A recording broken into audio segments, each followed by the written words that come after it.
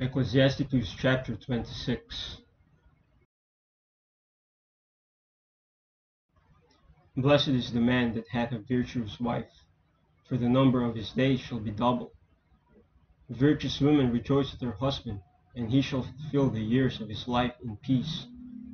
A good wife is a good portion, it shall be given in the portion of them that fear the Lord. Whether a man be rich or poor, if he have a good heart toward the Lord, he shall at all times rejoice with a cheerful countenance. There be three things that mine heart feareth, and for the fourth I was sore afraid: the slander of a city, the gathering together of an unruly multitude, and a false accusation: all this are worse than death. But a grief of heart and sorrow is a woman that is jealous over another woman, and a scourge of the tongue which communicateth with all. An evil wife is a yoke shaken to and fro he that hath hold of her is as though he held a scorpion. A drunken woman and a gatherer abroad causeth great anger, and she will not cover her own shame. The whoredom of a woman may be known in her haughty looks and eyelids.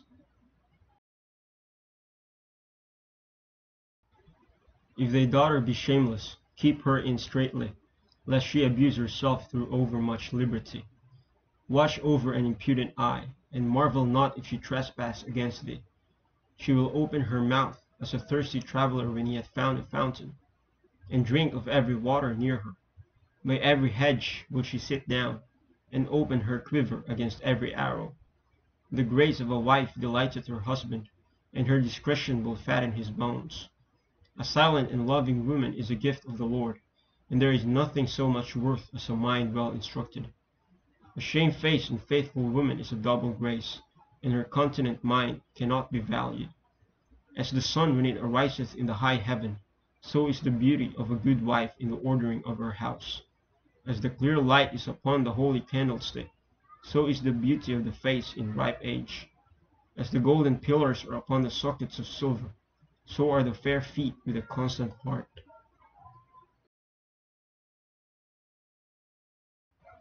My son, keep the flower of thine age sound, and give not thy strength to strangers. When thou hast gotten a fruitful possession through all the field, sow it with thine own seed, trusting in the goodness of thy stock.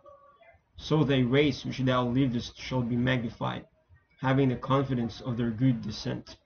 An harlot shall be accounted a spittle, but a married woman is a tower against death to her husband. A wicked woman is given as a portion to a wicked man, but a godly woman is given to him that feareth the Lord.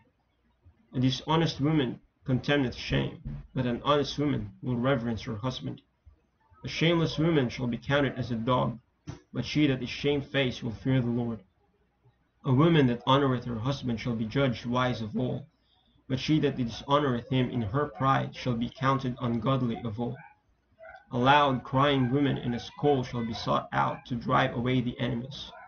There be two things that grieve my heart, and the third maketh me angry: man of war that suffereth poverty, and men of understanding that are not set by, and one that returneth from righteousness to sin.